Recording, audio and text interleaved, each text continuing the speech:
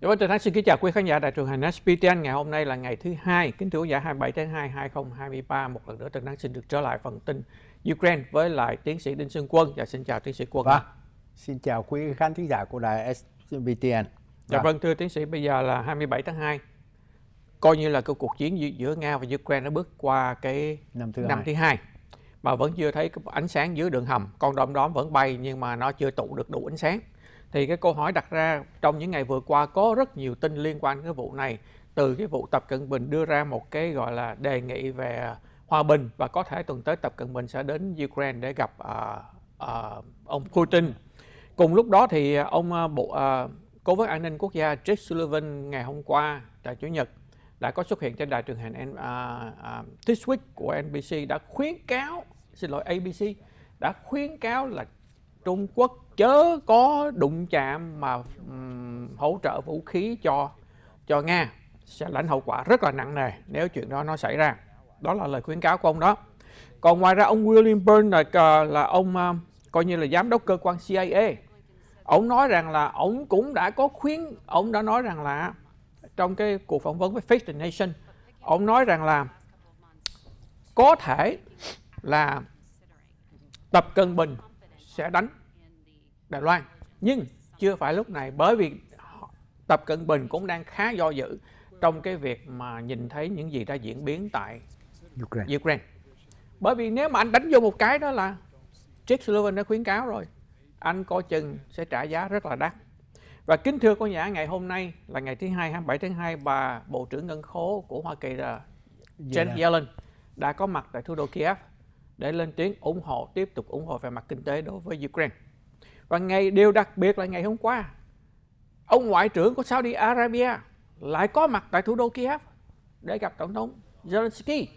À, đó, đó, đây là một điều, chuyện rất là lạ đó bởi vì Saudi Arabia là luôn luôn đồng minh thân thiết với lại Putin đã cùng Putin đồng ý cắt giảm dầu thô trong thời gian vừa qua để mà hạ giá dầu thứ nhất tăng giá dầu lên để mà hưởng lợi cùng với lại Nga hưởng lợi trong cái vụ này và chính ông ông Hoàng Salmon cũng đã thương lượng với lại ông Putin để mà giải thoát được hơn hai mươi mấy binh sĩ ngoại quốc mà tình nguyện đó mà bị bắt ở Ukraine. Ukraine. Trong đó có một người Mỹ gốc Việt.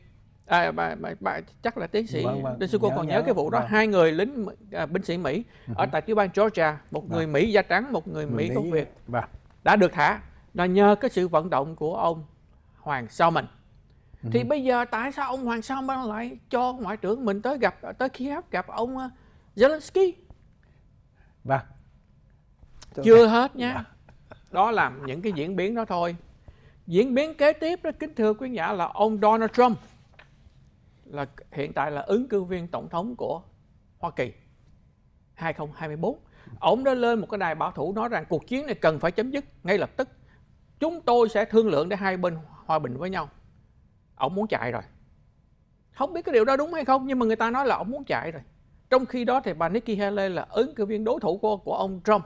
Thì bảo rằng là đây là cuộc chiến, không phải là cuộc chiến của ờ, giữa Nga và Ukraine, mà đây là cuộc chiến bảo vệ tự do và dân chủ trên toàn thế giới. Ông Ron DeSantis là có thể là ứng cử viên của tổng thống trong những ngày sắp tới. Còn bảo rằng chúng ta không thể tiếp tục cho tiền Ukraine mãi. Phải chăng cộng hòa muốn chạy, thưa tôi, tiến sĩ? Đó là những cái diễn biến trong tuần qua thì tiến sĩ nhận định như thế nào vâng anh uh, Tường Thắng đã hỏi tôi uh, những câu hỏi rất là khó quá nhiều câu mà, hỏi không ạ không hai câu chính thôi à. nhưng mà tôi thấy là uh, tôi sẽ cố gắng yeah. Dạ. phân tích cho quý khán thính giả về những cái điều này yeah. Dạ. trước hết á, quý vị thấy là bây giờ sau một năm chiến tranh đó thì mình thấy là cái gì mình thấy là Hiện giờ tại Bắc Mút, quân đội Nga vẫn chưa đánh thủng được Bắc Mút. À. Đó là đầu tiên. Yeah. Dạ. Thì nghĩa là tương đối, nghĩa là cái quân bình giữa hai bên rồi. Đó yeah. Dạ. là một. Cái thứ hai đó là những chiến xa đã bắt đầu tới Ukraine chiến xa Leopard, Leopard đó yeah. đã, yeah, yeah. đã phía bên Ba Lan đưa đó vâng yeah. đã có mặt tại nghĩa là là là là nhưng mà từ khi chiến xa tới và từ khi họ có đủ phương thức để nghĩa là tổng phản công hay gì đó cũng. Dạ. còn có nhiều thời gian nhưng mà dù muốn dù không đó cái chuyện đầu tiên chúng ta phải thấy đó là nó có cái sự cân bằng mà hai bên chưa có thể nghĩa là phản công được và mang sự thắng lợi về họ. Yeah. Dạ. Cái yếu tố thứ hai đó chúng ta thấy đó là sau một năm đó là ai cũng nói về giải pháp chính trị làm sao để cho hai bên ngồi bàn thương lượng với nhau. Yeah. Dạ. Thì một bên đó quý vị thấy là có ông ờ, có ông Dương Nghị đi qua uh, Munich gặp rồi xong từ Munich ông ta đi qua gặp ông Putin và từ đó đó có thể là ông Tập Cận Bình sẽ nghĩa là tới thăm ông Putin. Yeah. Mà quý vị biết đó là Hoa Kỳ đó họ cũng rất là khôn, họ nhắc nhở ông ờ, Dương Nghị đó đừng có giúp Nga, quý vị mà giúp Nga về vấn đề mà vũ khí đó thì quý vị sẽ lãnh đủ nghĩa là nghĩa là là là đó là một cái cảnh cáo mà quý vị biết đó. Về vấn đề chính trị cảnh cáo không đó bao nhiêu lần Hoa Kỳ đã cảnh cáo ông Putin trước khi đánh vào Ukraine dạ, mà ông rồi. ta vẫn đánh dạ. à. nhưng mà nếu mà mình đi về lịch sử đó mình thấy là nước Nga lúc bao giờ cũng là nghĩ là Ukraine là thuộc về họ. Dạ. cái chuyện đó là một cái chuyện khác nữa nhưng mà dù muốn dù không đó thì bây giờ mình thấy cái chuyện này đó thì nó có cái gì quý vị biết đó là khi Trung Quốc nói là phải giữ những cái biên giới mà do Liên Hợp Quốc khẳng định yeah. Dạ. thì đó là một điều rất là quan trọng là đi ngược với vấn đề Nga. Vâng. Nhưng mà ngược lại nhưng mà phải lấy ý kiến của Nga vì vấn đề Nga cũng lo về cái mối an ninh của ông ta, yeah. Dạ. của Nga. Thì rõ ràng là đi hàng hai. Quý vị thấy là rõ Mà vừa rồi đó quý vị cũng nhớ tôi nhắc lại thêm luôn. Tại Liên Hợp Quốc thì cái số người ủng hộ đòi Nga rút vẫn là 141 nước. Không thay đổi gì cả. Việt 141 nước. Việt Nam bỏ phiếu trắng.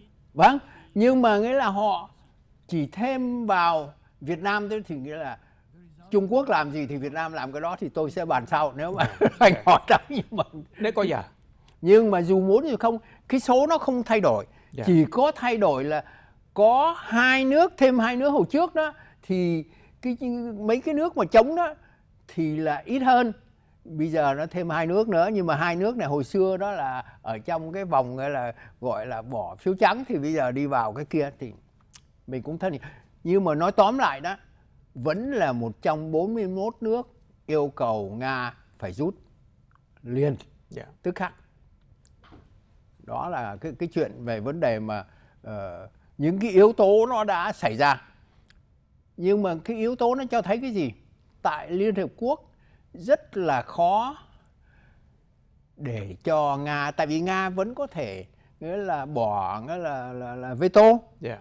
Và ở đây đó thì là Trung Quốc là cũng ủng hộ Nga về cái chuyện này không muốn cho Nga là, là, là, là, là mất mặt. Hay là thua? Thì đây đó mình thấy rõ ràng là hiện giờ đó là những cái yếu tố nó xảy ra. Và sau một năm chiến tranh thì bây giờ ai cũng nghĩ tới là phải nghĩa là làm sao nói chuyện hòa bình. Thì tôi muốn nhắc lại cho quý vị là thế vậy. Trước đó vài ngày thì tổng thống Biden có tới uh, Kiev. Dạ, thứ hai tuần trước. Vâng vâng. Dạ, và ông ta vẫn giúp hứa giúp Hoa Kỳ tới khi không cần nữa yeah. Dạ. nhưng mà tôi muốn nhắc lại là tôi nói là ông ta nói hai chuyện một bên là giúp trợ giúp nhưng mà một bên nữa là những cái gì ông ta nói mà chúng ta chưa biết à, đó là cái quan trọng cái quan trọng là nói về bây giờ tương lai thì sao yeah. Dạ.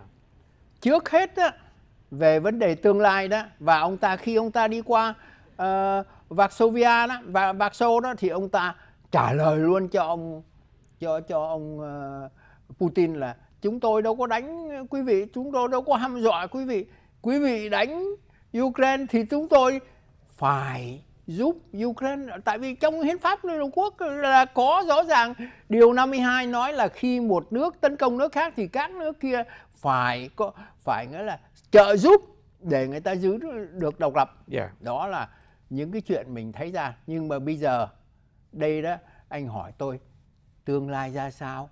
Trung Quốc cái vấn đề Trung Quốc ra sao thì quý vị biết đó. Trước hết đó là cái đề nghị của Trung Quốc đã bị nhiều người hoài nghi. Trước hết là tổng thống Biden đã bác bỏ. Hoa Kỳ nói là tại sao ông đợi xong một năm ông mới, mới nói về, về về vấn đề mà hòa bình? Trong khi khi mà vào đó là trước khi đó khi còn nghĩa là Olympic đó thì ông lại ký với ông Putin đúng không yeah. Dạ. thì ông Putin ông nói qua ông nói là chúng tôi sẽ đánh và ông lại ký với ông Putin thì như vậy thì nghĩa là ông không có thành thật yeah. Dạ. rõ ràng là cái ý kiến của ông đó khó tin được lắm yeah. Dạ. đó vì vậy đã tôi nghĩ là mình chúng ta sẽ phân tích thêm nữa. Dạ. Và vâng. bây giờ mình phải cần vào phần thông tin thương mại sau đó từ nắng và tiến sĩ Đinh Xuân sẽ trở lại với quý khán giả.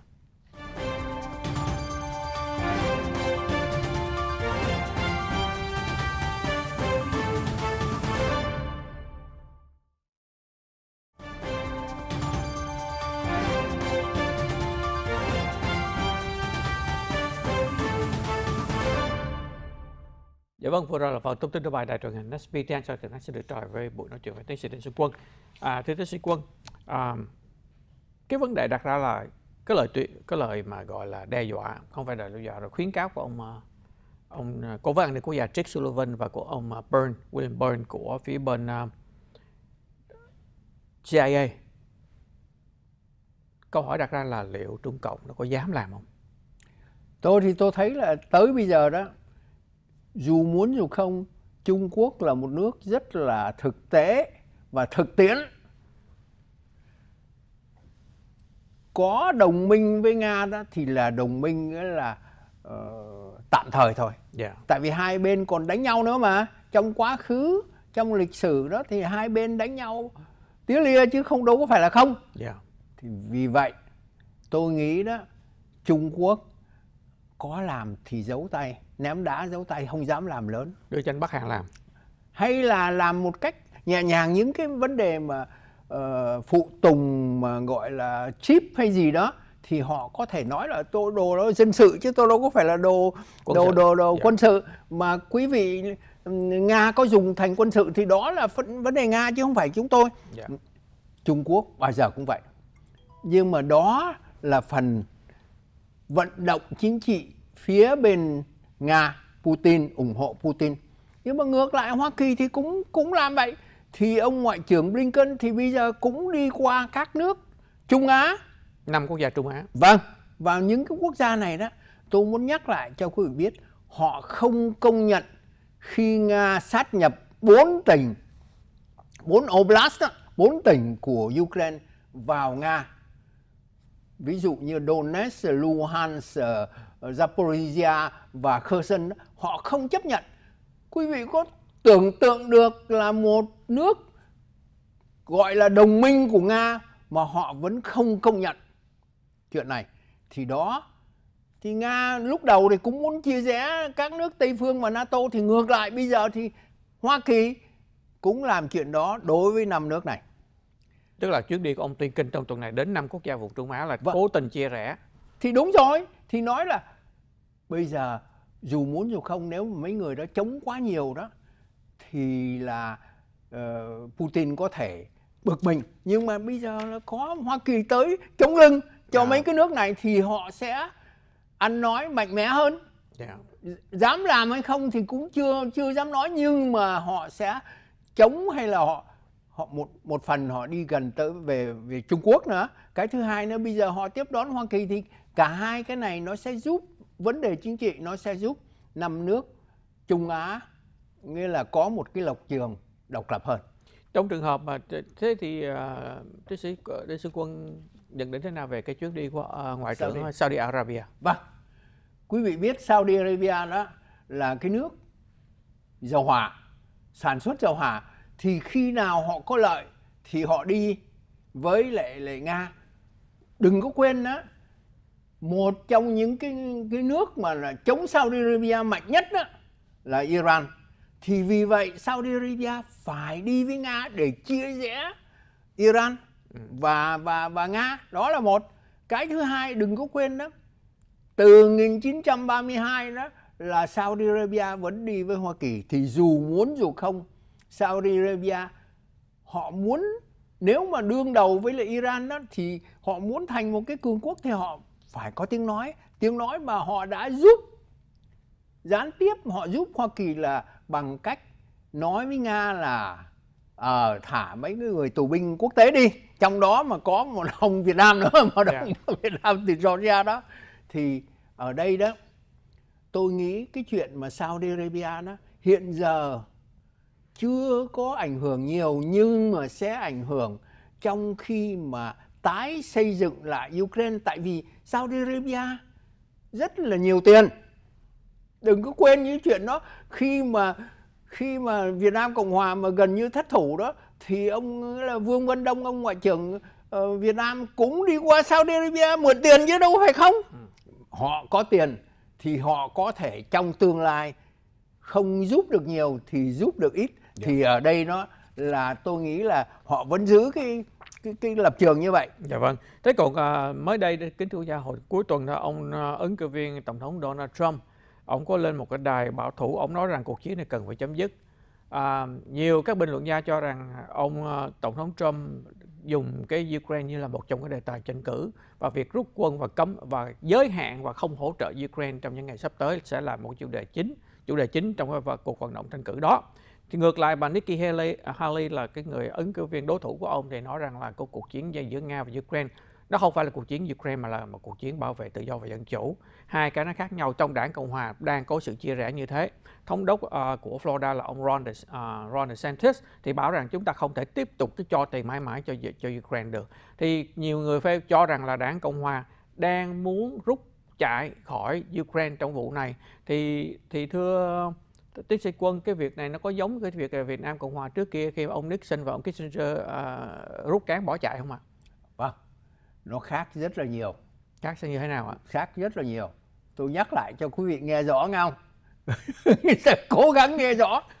Ông Trump đó tới lúc phải đi lính và đi qua Việt Nam thì ông ta trốn lính và ông ta luôn luôn nói là chiến tranh Việt Nam là ông ta không muốn tham gia. Thành ra những cái người Việt Nam mà ủng hộ ông Trump đó nghe cho kỹ mở cho kỹ lịch sử còn đó chứng cớ còn đó đó là một cái thứ hai quý vị thấy là trong cái vấn đề đóng thuế của ông ông ông ông uh, Trump đó ai đóng thuế nhiều cho Hoa Kỳ và ai đóng thuế nhiều cho Trung Quốc rõ ràng là một bên đóng zero đồng hay là 750 đồng một năm trong khi đó phải đóng bao nhiêu ngàn đồng cho Trung Quốc thì thiên về phía nào yeah. Dạ. thì chúng ta chỉ thấy con số thôi cái thứ ba nữa quý vị đừng có đừng có nhìn quá. Tại vì đây đó là tranh cử.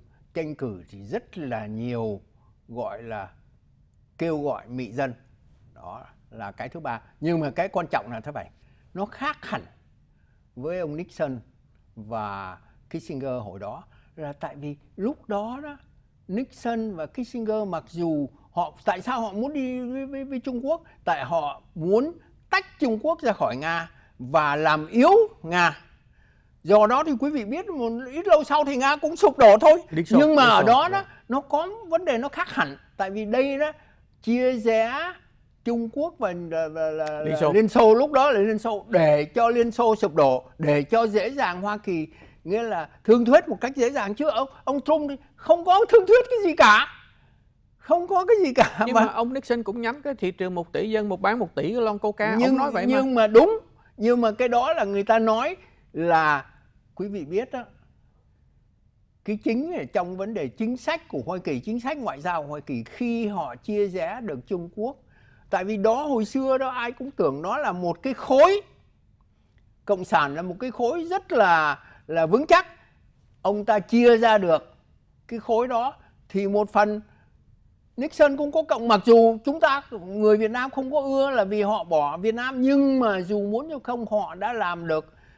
Khi họ đánh một cái bàn cờ lớn đó thì Việt Nam nó chỉ là một con tốt.